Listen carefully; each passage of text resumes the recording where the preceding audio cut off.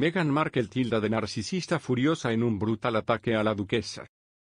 La locutora Esther Craque afirmó que la duquesa de Sussex no dice nada que no esté calculado. La comentarista hizo los comentarios mientras discutía la controvertida entrevista de Meghan con el corte. En la entrevista, la esposa del príncipe Harry dijo que un miembro del elenco sudafricano del Rey León le había dicho en el estreno en Londres en 2019 que hubo el mismo júbilo en el país cuando se casó con la realeza que cuando Nelson Mandela se casó, liberado de prisión. Pero el actor Dr. John Candy dijo que él era el único miembro del reparto sudafricano en la nueva versión de Disney e insistió en que nunca conoció a Meghan. Hablando de la disputa, la comentarista señora Crackwe le dijo a Sky News Australia, es irónico que la verdad de Meghan Markle y la verdad nunca parezcan alinearse. Todo el mundo sabe que Meghan Markle no dice nada que no esté calculado. Ella viene de un mundo donde todo lo que sale en los medios está muy calculado. Una de sus frustraciones que sabemos, siendo parte de la familia real, no pudo curar la imagen pública perfecta que quería. Así que no es un accidente, no es un error que ella haya hecho ese comentario.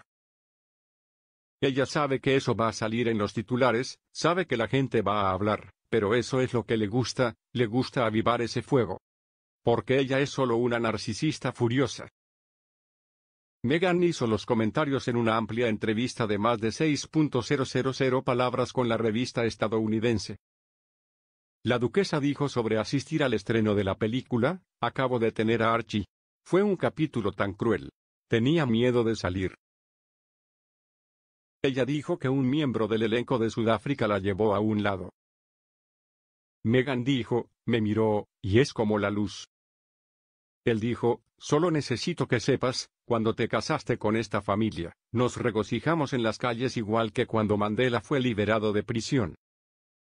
Mandela, venerado en todo el mundo como un hombre de paz y perdón, fue liberado de prisión en 1990 después de 27 años y se convirtió en presidente de Sudáfrica. Pero el Dr. Kani, un veterano de la Royal Shakespeare Company que hizo la voz del chamán Mandril Rafiki, afirmó que él era el único miembro del reparto sudafricano en la película, y que no estuvo en el estreno en el Reino Unido. Le dijo a Mylon Line, nunca conocí a Meghan Markle. Esto parece un paso en falso de ella. Nunca conocí a la duquesa en absoluto. Soy el único miembro sudafricano del elenco y no asistí al estreno en Londres.